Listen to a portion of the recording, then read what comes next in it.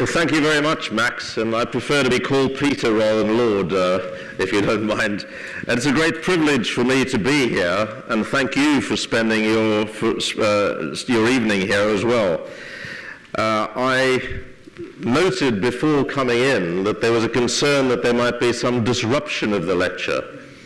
I think you've been having a few things like that over the last uh, period. It took me back to my youth when I was usually the person doing the disrupting. And actually, at that time, it would have been treasonable for UCT to invite me to address you.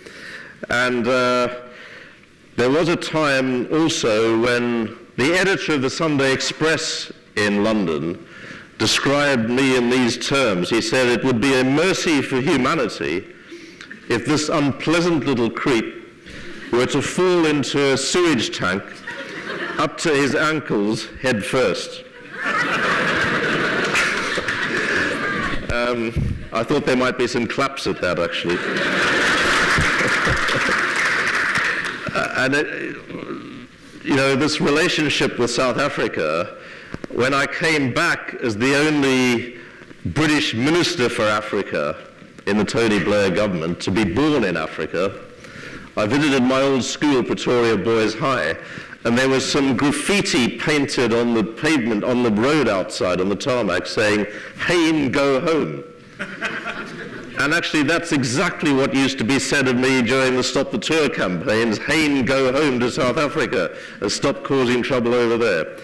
Anyway, that's not the theme of my speech here this evening, uh, and I'm grateful to, to Max uh, for inviting me. In the space of a year, politics in the old democracies of Europe and the United States of America have been turned upside down. In poll after poll, voters have sprung a series of surprises, plunging both leaders and led into similar states of shock. Brexit happened when it shouldn't have. Trump happened when he shouldn't have. Macron happened when he shouldn't have. And Labour under Jeremy Corbyn delivered a political Dunkirk instead of the devastating defeat that everyone expected, turning Prime Minister Theresa May from heading for a landslide into a dead woman walking, in the words of her former Conservative Chancellor and Cabinet colleague George Osborne. Why is this all happening? Two years ago, and Max referred to it, I published a critique of an alternative to neoliberalism, which has dominated global economics since at least 1980 and argued that the populist revolts across the globe were because it wasn't working for nine out of ten people. For 30 years after the Second World War, Keynesian full employment policies combined with welfare state policies delivered economic and social stability, promoting necessary investments and faster economic growth, as well as more just more equal societies, and fewer class differences. But for nearly four decades now, we've suffered from a neoliberal ideology. That is to say, a small government ideology favoring market forces wherever possible and tolerating state regulation only where absolutely necessary. Economic and social inequality has widened massively not just the poor, but the middle classes have experienced a relative decline in living standards, while the rich have become super rich, the top 10% have benefited, the top 1% even more so, the top 0.1% stratospherically so, while the rest have fallen behind. And in Capital in the 21st century, Thomas Piketty showed that since neoliberalism was adopted, from around 1980, capitalism has reverted to type with an inbuilt tendency to generate shocking degrees of wealth and income inequality, which he predicts will continue throughout the century without major changes in government policy. When Emmanuel Macron won the French presidency in May with an entirely new party, a new movement, the two parties of the center right and the center left were humiliated. And the far right Trump and Putin fan Marine Le Pen came second with over a third of the vote. Launching her presidential campaign, Marine Le Pen promised to put France first by freeing it from what she labeled the tyrannies of globalization and Islamic fundamentalism and the European Union. In a revealing tyrannies, in a revealing insight into a hard right ideology which attracted former working class socialist and communist party voters, she said, and I quote, the divide is no longer between the left and the right, but between the patriots and the globalists. She added, and I quote, financial globalization and Islamist globalization are helping each other out. These two ideologies aim to bring France to its knees. But at least some powerful global leaders have acknowledged their culpability in opening the door to such malevolent and reactionary views. Last January, the head of the International Monetary Fund, Christine Lagarde, called for urgent action to tackle what she called a middle class crisis hitting working people she warned that inequality, distrust, and a lack of hope were fueling growing populism. Lagarde conceded there was growing inequality, evident from a 2017 Oxfam report showing that just eight, eight billionaires own the same amount of wealth as the poorest half the world's population 3.6 billion people. Eight billionaires equivalent to 3.6 billion people. Last December, Mark Carney, Governor of the Bank of England, issued a rallying cry to tackle the causes of what he called a growing sense of isolation and detachment among people who feel left behind by globalization, global trade, and technology. Those forces had favored the superstar and the lucky, he said.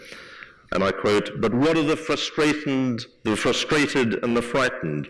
The fundamental challenge is that alongside its great benefits, every technological revolution mercilessly destroys jobs and livelihoods and therefore identities well before new ones emerge, he said.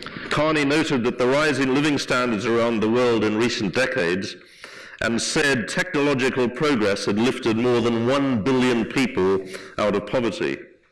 But he recognized that many citizens in advanced economies were facing heightened uncertainty, lamenting a loss of control, and losing trust in the system. Rather than a new golden era, globalization, he said, is associated with low wages, insecure employment, stateless corporations, and, shrink, and striking inequalities.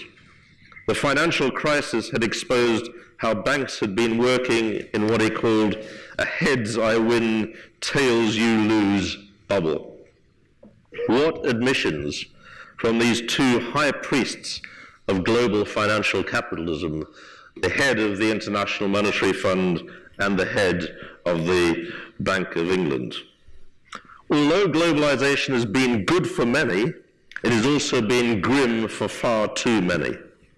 In America and Britain, those who have lost out have tended to be clustered in what were once towns based on heavy industry, which have seen their economic vitality vanish and their self-respect suffer as coal mines, shipyards, steel mills, clothing and textile factories, and heavy engineering plants have been hit hard. In direct response, President Donald Trump's election campaign conjured vivid ideas of a Western Shangri-La for working class white American males, complete with shotguns, stars and stripes, and of course Stepford wives. He held out the prospect of returning America to the good old days. Coal mines would be profitable in Pennsylvania, steel plants would pay their way in Ohio, and no manufacturing jobs would be in jeopardy anywhere in America's Rust Belt. Above all, Trump appealed to Americans who felt left behind by globalization and technological change. But in the advanced economies of the Western world, it is more austerity and slow growth than globalization, which has squeezed living standards since the global financial crisis. The painful truth is that Donald Trump's victory came as an overdue wake-up call to both conventional politics and orthodox economics. Like Brexit, it injected urgency into pleas for help from communities left behind by globalization and free trade agreements. But although they might be helped by his plans for massive public infrastructure investment building the wall uh, between the US and, uh, and Mexico, for example, his plans to deregulate banking and cut corporation taxes will mainly help the rich and the powerful. Apart from his shocking ban on Muslims, Trump immediately repealed the laws that had prevented coal companies from polluting freshwater streams and stopped US corporations from secretly paying foreign governments for mineral extraction rights. He appealed, repealed those two laws. He's also attacked the United Nations, NATO, the European Union, and reneged on the climate change agreement in a rage against globalization and its international government, governmental institutions, which has characterized the modern right the world over. The first age, age of, glo of globalization was symbolized in the 1870s by the magnificent 19th century sailing ship Sark, which brought tea from Shanghai to London via the Cape of Good Hope, carrying mainly manufactured goods on its return leg.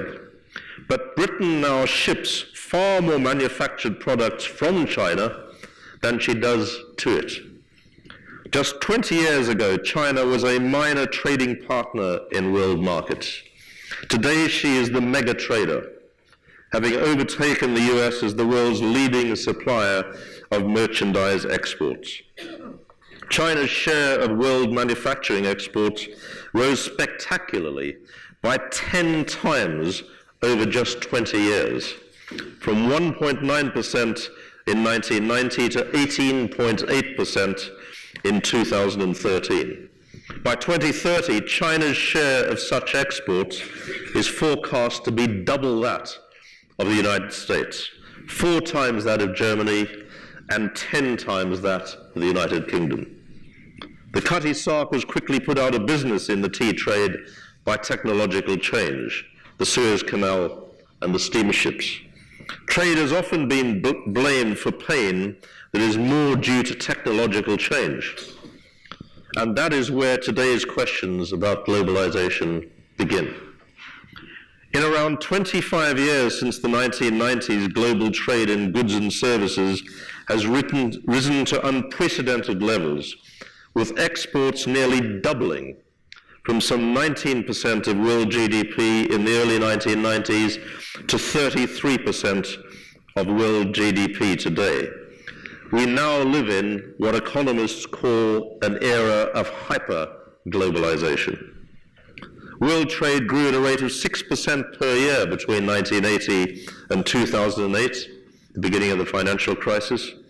Helped by the end of the Cold War and the reintegration into the world economic system of the countries of Soviet Eastern Europe, by China's re-entry after her post-1978 economic reforms, by India following her reforms in the early 1990s, and by the spread of democracy in parts of Africa and South America.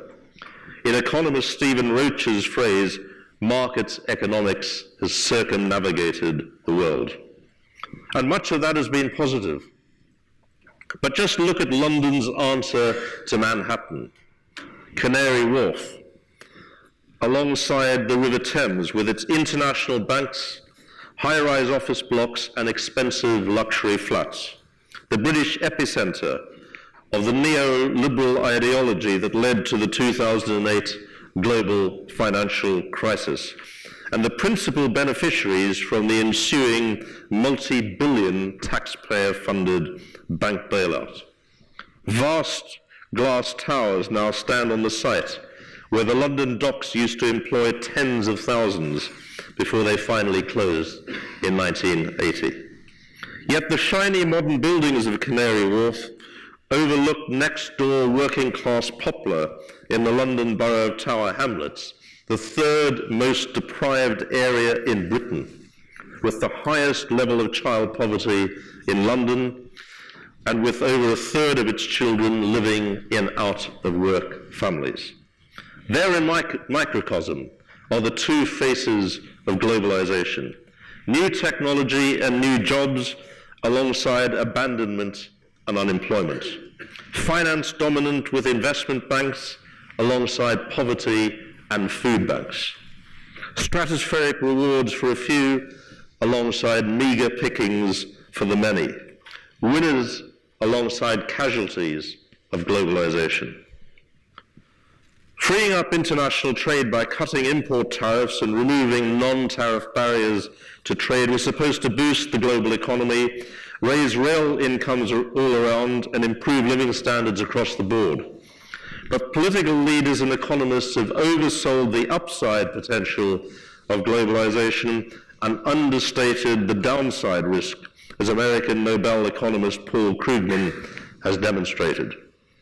Although everyone may have benefited from lower priced imports, for many skilled and unskilled manual workers, these gains have been wiped out by job losses in industries that cannot compete with their new foreign rivals. But recent research suggests that things changed in the age of hyperglobalization and the China shock, the serious adjustment costs caused by China's reintegration into the world economy. Economist Dan, Dani Rodrik argues that the net gains from trade now look rather paltry compared with the redistribution of income from lower to higher earners that it causes. Senior British financial and business guru Adair Turner has commented, while trade liberalization from 1950 to 2000 helped drive global growth, the marginal benefits of further liberalization are small. In my view, voters will continue to revolt against further globalization unless radical steps are taken to see that any gains are fairly shared. Very recently, leading economist Branko Milanovic has presented startling results on the effects of globalization on the distribution of income around the world. Between 1970 and 1990, real per capita incomes rose at similar rates from the bottom to the top of the world income distribution. But over the period 1988 to 2008, when hyperglobalization and neoliberalism really took off, the picture changed dramatically. The first big winners were the fifth of the world's population near the middle of the income distribution. They enjoyed real rapid income growth reaching nearly 80% of the peak. This represents the, the rise of the global middle class in China and resurgent Asia, including India, Thailand, Vietnam, and Indonesia. The second big winners were the top 1% of the world income distribution, the global elite, mainly in the US, Western Europe, but also in countries like Japan, China, India, Russia, Brazil, and indeed South Africa. Christopher Kutarna of the Oxford Martin School summed up what higher trade and higher incomes in the past two decades have led to. And I quote, when the Berlin Wall fell, two-fifths of humanity lived in extreme poverty. Now it's one-eighth. Global illiteracy has dropped from one, from one half to one-sixth in the sa- same span of time. With a few tragic exceptions, a child born almost anywhere today can expect to grow up healthier, wealthier, and smarter than at any time in history. But the big losers were the hundreds of millions who experienced very slow, indeed close to zero, real income growth over 20 years. These are the working class and lower middle class of the rich OECD countries, suffering from a trend that has become even stronger after the 2008 global financial crisis. Globalization has helped turn shipyards into scrapyards, clothing factories into call centers, and car assembly plants into car parks. While many secure and well-paid full-time job, jobs, where many secure and well-paid full-time jobs used to exist, too now we, too often now we see only a few, a few insecure and poorly paid part-time jobs. The gains from free trade have not been shared fairly. Paul Krugman in 2008 concluded that the rise in manufactured imports from developing countries like China had led to greater inequality in the US and other developed countries. On top of that, where the last technological revolution first wiped out well-paid working class jobs in manufacturing, the new one could wipe out well-paid jobs in the service sector, many highly skilled from legal assistants to translators. But low-paid workers in the services, jobs like cleaning, gardening, caring, bar or restaurant staff will still be needed. With digitalization, robotics, and artificial intelligence, the super creative minority will be richly rewarded. But there'll be a further hollowing out of the middle class and an expansion of low-paid, insecure jobs at the bottom, sharply exacerbating the inequality trends of recent times. Most important, the last technological revolution was accompanied by a political consensus which ensured those making the cars, the washing machines, and the television sets could also buy them because of full employment policies, capital controls, progressive income tax, strong trade unions, and decent pensions. Yet today's fa fashion for neoliberal, deregulated, low-tax markets and the gig economy means these kinds of protection have been and still are withering away amidst self-employment and job insecurity. The chickens came home to roost in the recent referendum on British membership of the European Union. The country badly split. British voters' decision by 52% to 48%, a catastrophic one in my view, to leave the European Union represented a rejection of globalization. But behind that failure has been the neoliberal ideology that has dominated the policies of the European Union and its member states since the 1970s and ruled out serious redistribution exacerbated by harsh and completely counterproductive austerity policies applied notably to Greece, for example. No surprise, surely, that anti-Europe sentiment has also been spreading across the 27 other EU nations. Poland has lurched into right-wing authoritarianism alongside Hungary's bilious xenophobia. Fascist and populist parties have been on the rise everywhere in Europe. Criminal smugglers made a fortune in 2015 from 80 or 100 boats a day crossing the Mediterranean, bringing a million refugees, a third of these children, as part of the biggest movement of people Europe has faced since 1945. By 2016, around 4,000 desperate refugees drowned in the Mediterranean trying to get to Europe. A quarter of a million, mostly Africans, waited in Libya to make the crossing. In response, more walls have been erected around Europe's borders than during the Cold War.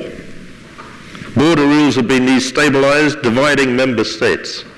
The European Commission President termed these polycrises. The French Prime Minister said at the beginning of the year that unless Europe gets a grip on the migration crisis, the European project can die, not in decades or years, but very fast, unquote. Why does this all matter to South Africa, to all of you? Because the EU is the world's largest, richest market and the world's largest aid donor. It has spread democracy to former fascist and Soviet states. It is increasingly important diplomatically, for instance, brokering the vital nuclear treaty and rapprochement with Iran. And it has helped bring unprecedented peace and stability to a continent which produced two world wars last century and more internation wars over the centuries than anywhere else in the world. But today, right across Europe, migrants have become the scapegoat, the problem politically toxic, even though their youth and skills, 40% of Syrian refugees are graduates, can boost our aging European societies. The Syria crisis is apocalyptic, a disaster of biblical proportions with over 4 million refugees. But the second largest group of contemporary refugees into Europe is from Afghanistan. About 20% are Afghans. Others come from Eritrea, Libya, Liberia, Burma, Congo, Iraq, Somalia, Ethiopia, Sudan, Mali, and Bhutan. Of course, modern Europe was born after a terrible war and the Nazi Holocaust, a time of deep austerity with millions of European refugees fleeing, stateless, homeless, starving, and freezing.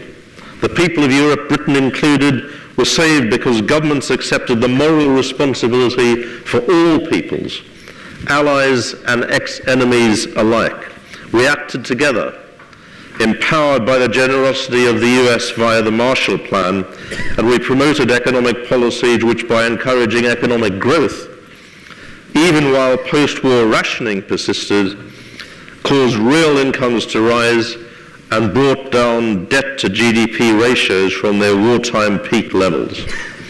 And many of those refugees made distinguished contributions to our societies from medicine and science to business. Now Europe faces another moral crisis as desperate people flee from war, tyranny, and economic misery in the Middle East and North Africa after terrible conflicts partly promoted by disastrous foreign policy failures of the United States, European Union countries. But the current refugee crisis may only be the beginning.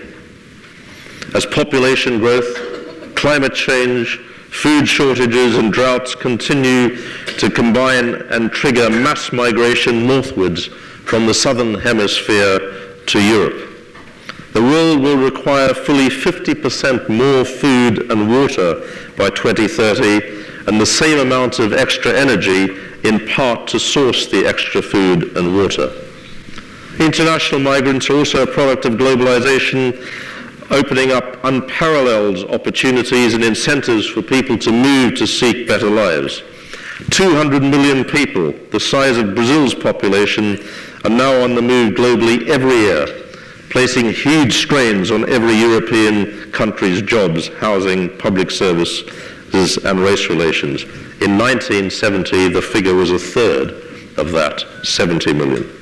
This integration of states in the Islamic world, unable to manage different ethnic and political differences, and a seemingly impotent international system led by the UN means that these migration trends could be with us for the foreseeable future provoking great instability in recipient countries. Along with other European governments, austerity has been Britain's preoccupation since the high debt and deficits of the 2007 global uh, 2007-8 global financial crisis. Yet that was barely half Britain's ginormous post-World War debt from defeating Hitler. And what happened after 1945? Instead of cuts and austerity, there was public investment, spending on a huge scale, as millions of new homes were built, new motorways constructed, the National Health Service developed, and modern public services established. At the same time, and this is the key point, at the same time the debt burden, national debt as a proportion of national income, kept on shrinking for the next 35 years, despite 30 budget deficits and only five surpluses, as GDP grew faster than debt rose. Yet today, UK productivity and skills remain very poor compared with, for example, France and Germany. Our trade deficit is enormous. Manufacturing continues to contract where Germany's expands. Levels of personal debt have been rising to disturbingly high levels. Poverty has increased, and many of the jobs created are low-paid and insecure or on zero hours contracts. Much of the UK's recovery has been based upon rising consumer debt and house values. And the British referendum in June last year has caused consternation globally and triggered a fall in the pound, declining real living standards and a weakening British economy. It was a massive kick at the political class. In post-industrial areas such as former mining communities, like I represented and still live in, many who voted to leave felt that they'd been left behind. The great bulk of British trade, nearly half in total, is with European Union countries, and millions of jobs in the country's prosperity depend on such trade. The European Union's clout, offering a market of 40, 445 million people to the UK's 64 million, with an economy around six times the UK's size, gives it a stronger negotiating hand than the UK alone in negotiating trade deals with the rest of the world.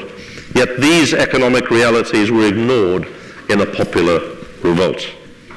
Regardless of Britain's relationship with Europe, the future seems likely to be a multi-speed, multi-currency Europe.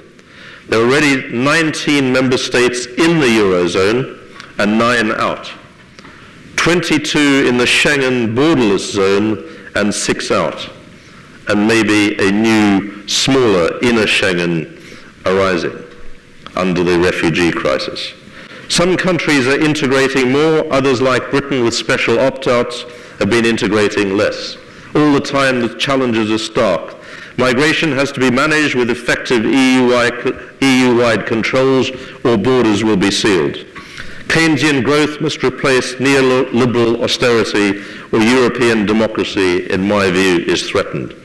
Meanwhile, Britain sails uncertainly into the unknown without its government having a clue as to the destination. The days when countries like Britain thought they could go it alone in the world are long gone. We live now in an increasingly interdependent world, one in which the international trade, overseas investment, global communications, worldwide travel, large-scale migration, transferred technology and cross-border crime are commonplace. One in which we all need partners abroad to help us boost business, create jobs, promote trade, manage migration, protect the environment, tackle terrorism, preserve peace, and defend our interests. That means, in my view, reviving the role of the state acting on behalf of society to promote the common good. Economist Dani Rodrik argues rightly that markets and states are complements, not substitutes, that markets expose workers to risk and that state action is needed to bolster the legitimacy of markets by protecting people from the risks and insecurities that markets bring with them. In his new book, Guy Standing said it's a myth that the political and economic changes of the 1970s created free markets. Instead, he argues, globalization has hastened the development of rigged markets dominated by a plutocracy and plutocratic corporations linked to concentrated financial capital that are able to gain increasing amounts of rental income by virtue of their wealth. Meanwhile, wages are stagnating. I would pursue four priorities. First, recognize that trade protectionism only made the Great Depression of the 1930s worse, so press instead for closer cooperation across the globe but either put tackling climate change ahead of signing further trade agreements, or better still, build climate change commitments into those trade agreements because the likely gains from further globalization aren't that great. Second, instead of Trump's bonfire of bank regulations, reform the financial system to reduce the, the risk, the real risk of a second global credit crunch and the consequential threat of complete economic collapse, like in 2008.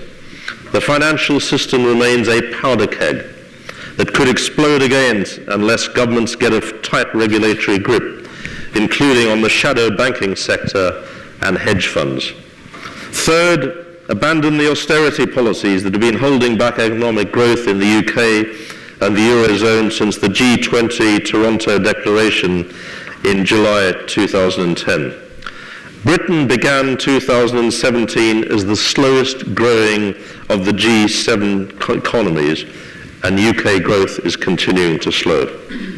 Fourth, respond to the clear evidence that regional labour markets adjust agonizingly slowly to shocks by radically strengthening the help provided to those hurt by globalization. That means legislating to close, to close, employ, to close employment law and minimum wage loopholes, enabling migrant workers to be paid less, both exploiting them and provoking resentment amongst indigenous workers. It also means investing heavily in safety net policies, such as through unemployment benefits and partial wage insurance for workers displaced into lower paying jobs. Governments need to provide a springboard to new jobs with job counselling, help with retraining and relocation, and wage subsidies for employers hiring displaced workers, as well as boosting regional infrastructure spending to help attract new jobs, expand health investment, and provide more affordable housing. In Scandinavian countries, such strong social safety nets do not undermine their labour markets or their productivity performance. Quite the opposite. For instance, they help workers to take jobs that would otherwise have been beyond their reach, free education for all, and skills training for any age, social security for the unemployed, and systems of care for children, the elderly and vulnerable members of society add up to what Scandinavians call flexicurity based labour markets. Flexicurity based labour markets. That is their key defense against the worst effects of globalization and open markets. Significantly, Scandinavian countries head the World Economic Forum's Inclusive Development Index. At the top are countries with higher taxes, generous welfare systems, and stronger, more influential trade unions. The top seven are Norway, Luxembourg, Switzerland, Iceland, Denmark, Sweden, and the Netherlands. Britain and the US are way back in 21st and 23rd places, respectively. And the kind of deregulated free market low tax future that hard Brexit Britain now faces is likely to make this even worse. There's plenty of potential for government intervention to help older industrial centres to thrive as hotbeds of innovation and advanced manufacturing. We cannot afford to turn our back on globalization. But unless we find ways to share the gains fairly and ensure that the inevitable casualties are supported into taking new opportunities, people as they did over Brexit and Trump will declare a plague on all your houses and walk away from free trade, simultaneously scapegoating sections of our communities, notably Muslims. Our aim must be to give citizens the greater control they have demanded as they turn their backs on the political class, too often attracted by right-wing populist demagogues. Greater control, not protectionism, which would damage prosperity and feed xenophobia, but by ensuring government invests in new technology and retraining to replace old industrial jobs, ensures that immigration is not only focused upon high value added or vacant jobs which cannot be filled domestically, but crucially also does not replace domestic jobs by undercutting wages and conditions. Above all, such greater control, in my view, means overturning the neoliberal obsession with austerity and shrinking the state. Thank you very much.